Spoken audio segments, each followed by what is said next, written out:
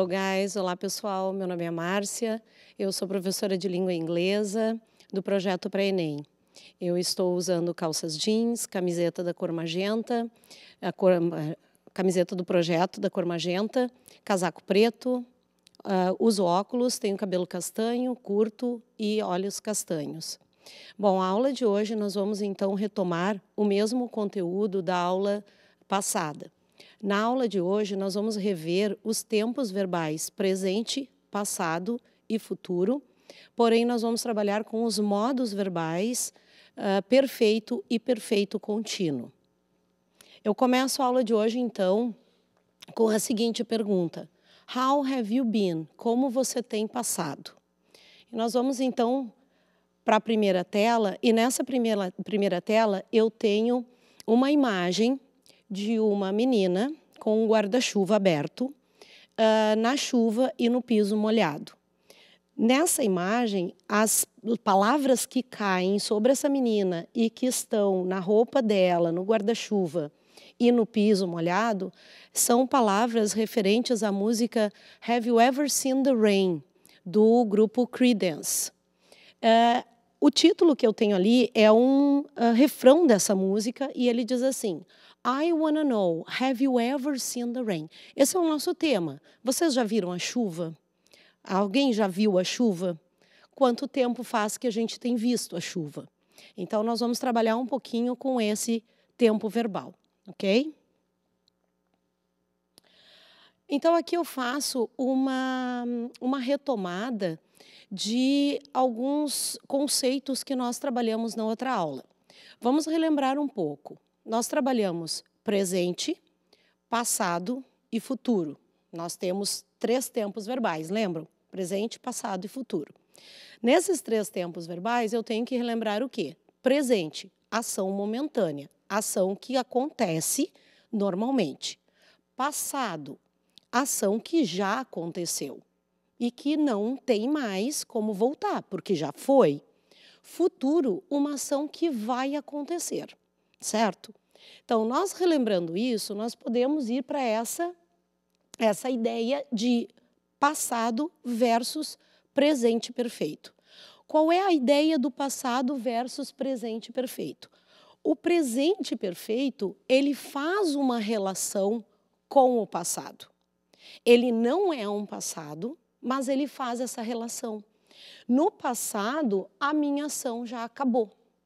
Ela se foi, não tem mais. Né? Ontem eu saí às 5 da manhã. Hoje eu não vou sair às 5 da manhã, porque isso foi ontem, certo? Já o presente perfeito, ele faz a relação com uma ação que aconteceu, que começou lá no passado, mas ela ainda vem, ela ainda continua. Eu preciso que vocês entendam o seguinte: presente perfeito nós não temos dentro da língua portuguesa. Não há uma referência dentro da língua portuguesa para o presente perfeito. Não é um tempo, nenhum modo verbal que nós utilizamos.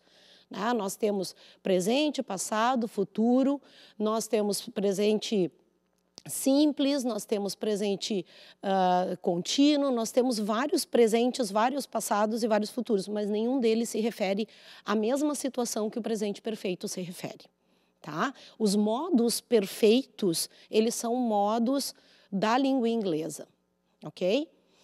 Uh, então, assim, ó, o passado são finished past experiences, o quê? O quê? Experiências terminadas no passado, certo? Experiências do passado que já se foram, que já terminaram. Agora, o present perfect são unfinished actions, o que, são unfinished actions? São aquelas ações que ainda não terminaram. Por exemplo, I have studied English since 2020. Eu venho estudando inglês, eu tenho estudado inglês desde 2020. Eu parei de estudar? Não. Eu comecei em 2020, mas eu ainda não terminei. Certo? Aqui eu trago uma imagem, então, que representa exatamente isso que eu estava falando. A relação do past, do passado, com o now, do presente. Ó, começa no passado e continua no presente. ok? Algumas expressões, então. Como é que eu reconheço que o meu tempo verbal está no presente perfeito? Tem alguns macetes. Né? A primeira, o primeiro macete de todos é o uso do have, do verbo ter, que ele não apresenta uma tradução literal dentro do presente perfeito. Vocês vão ver daqui a pouquinho, aqui quando eu trouxer o texto como exemplo, tá? Mas há algumas expressões e essas expressões, elas marcam, elas são obrigatórias dentro de um presente perfeito, ou dentro de um passado perfeito, ou dentro de um futuro perfeito. Elas são obrigatórias. Vocês vão ver que tem várias expressões aqui durante essa nossa aula que eu vou trazer para vocês. Né?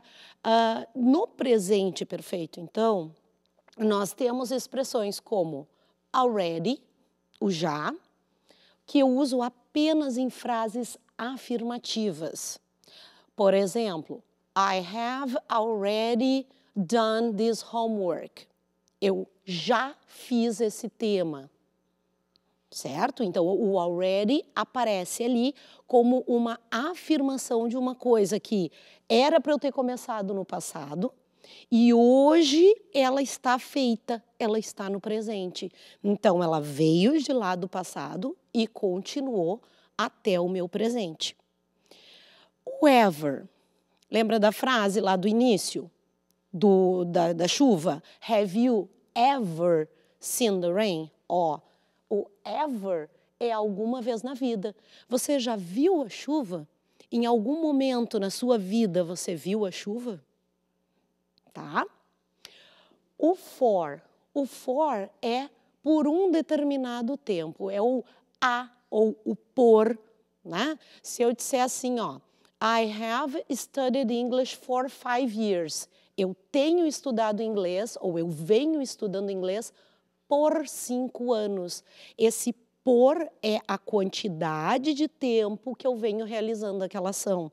Vocês notam que em todas essas expressões aqui, até agora, né, em todas essas expressões que eu venho falando para vocês, uh, as ações elas começaram lá. Elas começaram lá atrás no passado. E elas estão tendo uma continuidade, elas não pararam de continuar. Elas até podem ter parado no presente, mas elas vieram de um passado. Então, essa é a parte mais difícil para a gente entender o presente perfeito.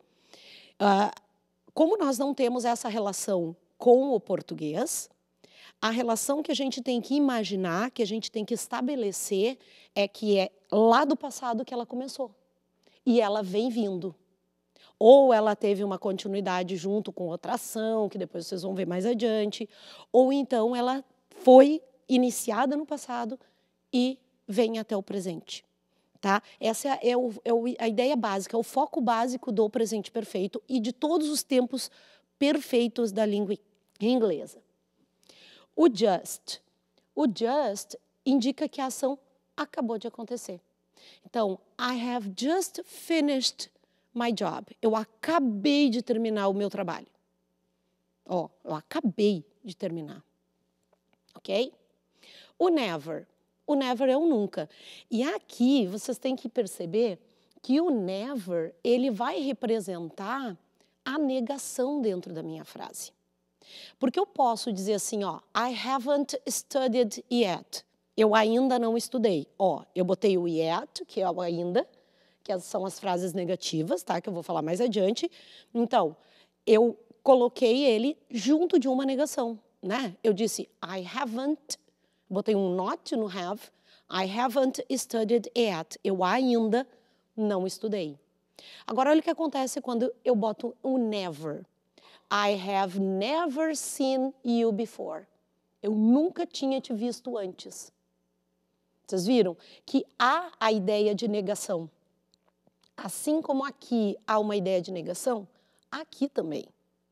Porém, a diferença é que a negação aqui, ela não aparece no verbo, ela aparece na palavra. O never me indica negação. Aqui, a negação aparece no yet. Desculpa, no verbo. Ela aparece no have. Então, tá ali a negação. Eu enxergo a negação. Eu tenho um not ali. E o yet só me complementa. Ok? O since é o desde. Então, eu posso dizer assim, ó. I've been studying English since I was a child. Eu venho estudando inglês desde que eu sou uma criança. Esse é o desde. Desde um determinado momento eu venho fazendo isso. Desde 2005 eu venho estudando para o Enem. Né? Então, eu venho durante um determinado tempo praticando essa ação. Esse since é o meu desde. Essas expressões aqui, se elas aparecem dentro de um texto, pode ter certeza que tu está usando um presente perfeito. Em algum momento o presente perfeito está aparecendo ali para vocês. Ok? Vocês viram que eu coloquei o yet duas vezes, né? Olha lá. Eu coloquei o yet como já, quando se espera que a resposta seja afirmativa. E eu coloquei o yet como ainda. Esse eu já expliquei para vocês. A relação do never com o yet. Aqui não aparece a negativa no verbo, aqui aparece a negativa no verbo. E esse aqui, Márcia, por que, que tem esse aqui, yet já, quando se espera que a resposta seja afirmativa? Bom, esse yet aqui é para pergunta. Se eu espero uma resposta, né? Então ele é para pergunta. Aí eu vou perguntar para alguém assim: Have you eaten your breakfast yet? Você já tomou o seu café? Ó, o já tá ali, é o yet. Claro que eu estou esperando que a pessoa diga yes, sim, né? Eu estou esperando essa resposta da pessoa. Ok? A minha expectativa é que a resposta que essa pessoa vai me dar seja afirmativa. Então, olha lá, vamos pegar o exemplo.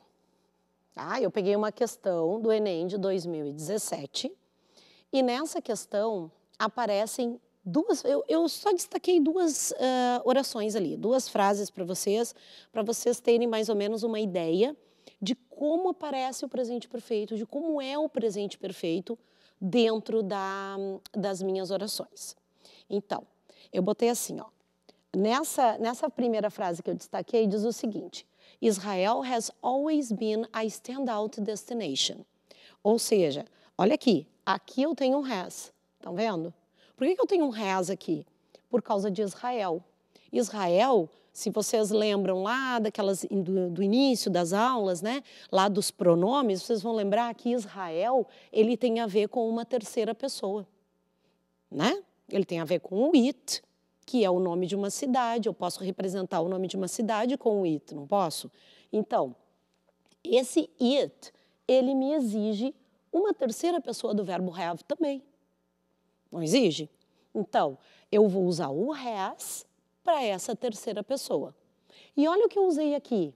Eu usei o always, o sempre, né?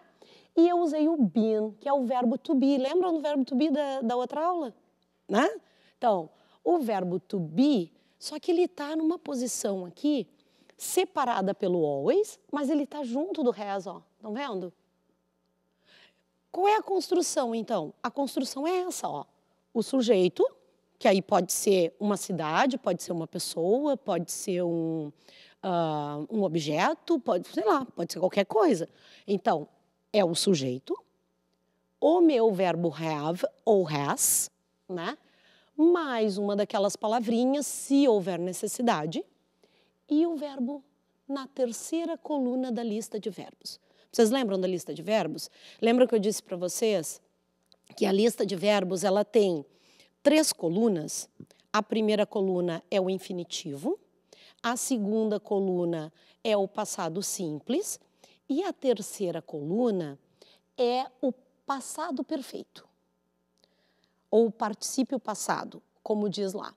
Então, o que, que essas três colunas representam? Elas representam as formas como os verbos irregulares são grafados.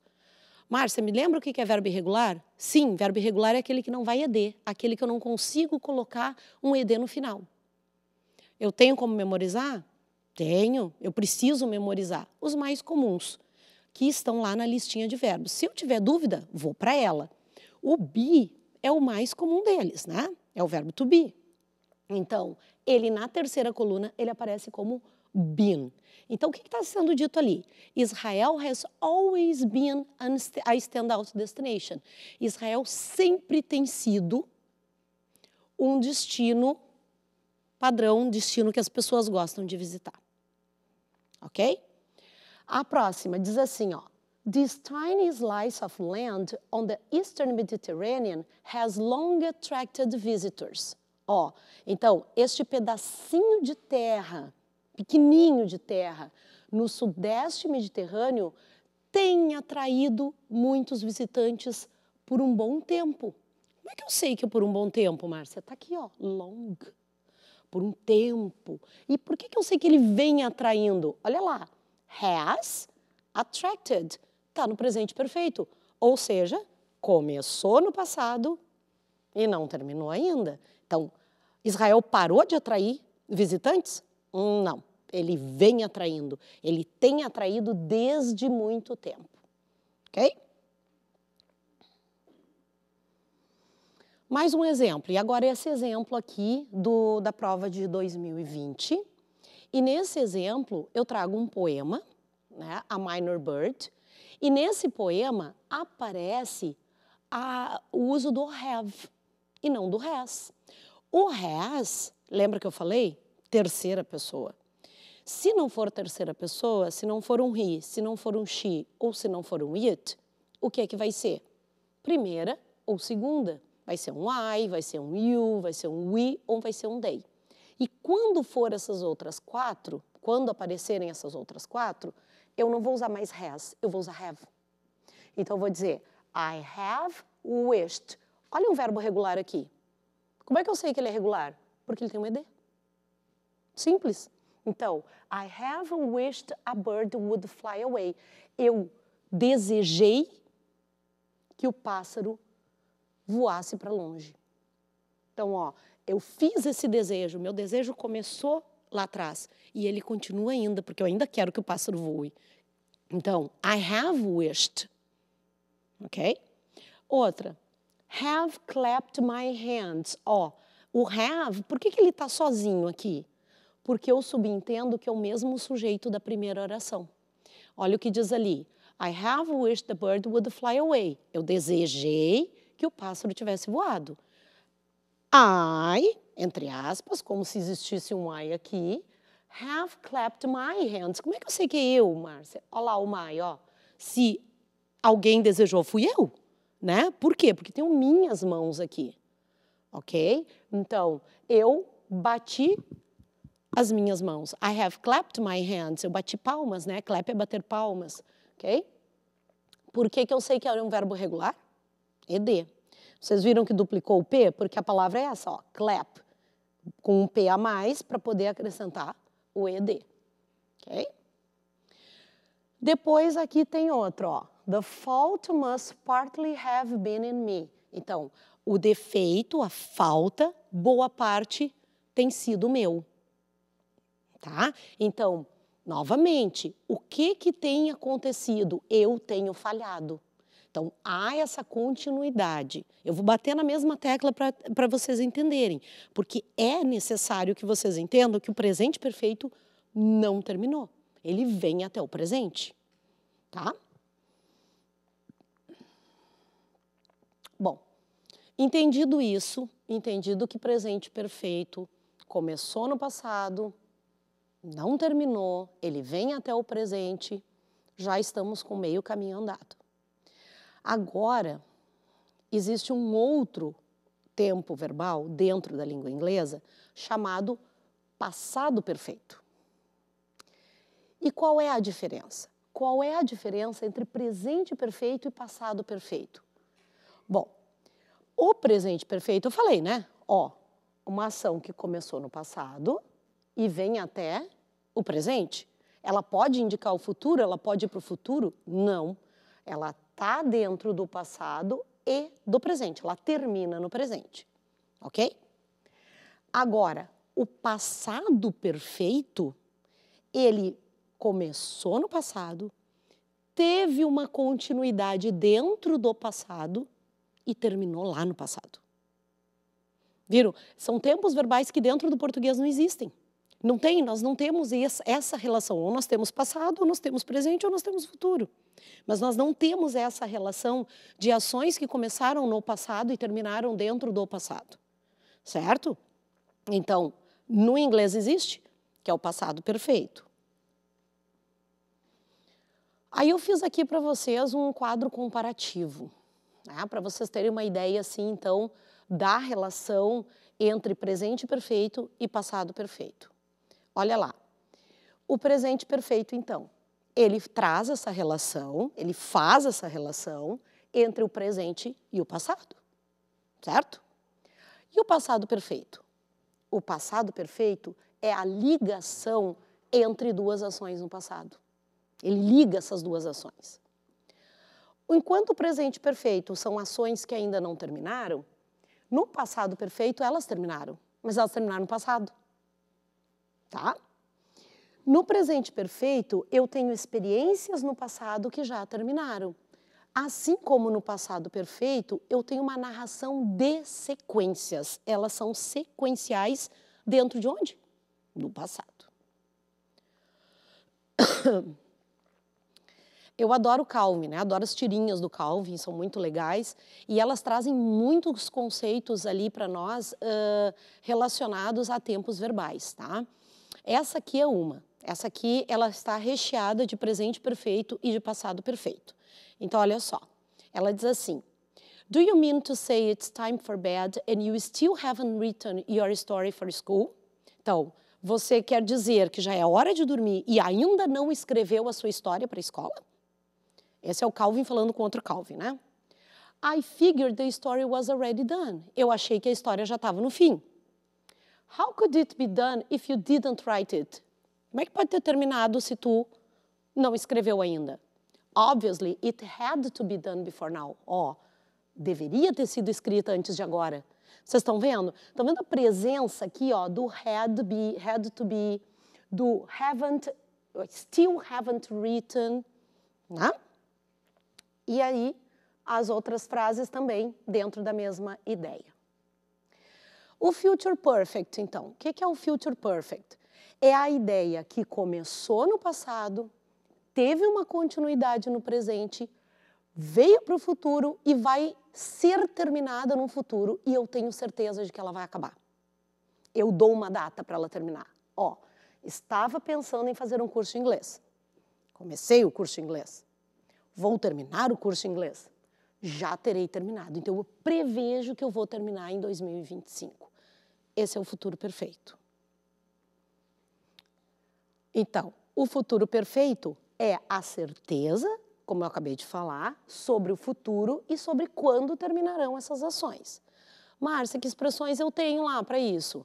Eu tenho in three weeks, ou então daqui três semanas, next year, próximo ano, by 2025, lá por 2025, When I'm 60, quando eu estiver com 60 anos. Então, são expressões que vão me indicar as ações futuras, ok? Uh, em relação ao tempo perfeito, nós ainda temos mais uma, que é o perfeito contínuo, que são todos os tempos verbais, presente, passado e futuro, que podem ser usados como perfeito contínuo. E essas ações, elas tiveram uma continuidade lá dentro do passado. Aqui eu trago a tirinha para vocês então, ó. The world will end tomorrow. O mundo vai acabar amanhã. He has been holding that sign for 15 years. Ele tem segurado aquele cartaz por 15 anos. Começou no passado, não terminou e teve uma continuidade no futuro. Então aqui eu deixo como resumo para vocês de todos os tempos verbais que nós trabalhamos tanto no, na aula 5 quanto na aula de hoje, exemplos não esqueçam que uh, vocês têm o meu e-mail ali no início da, da aula. Vocês podem entrar em contato. Nós vamos disponibilizar alguns materiais para vocês também no, na plataforma Google mais adiante. E eh, esse material aqui é importantíssimo para que vocês possam uh, verificar se entenderam ou não o conteúdo da aula de hoje e da aula passada. Ok? Thank you for today. Obrigada por hoje. See you. Até mais e partiu passar.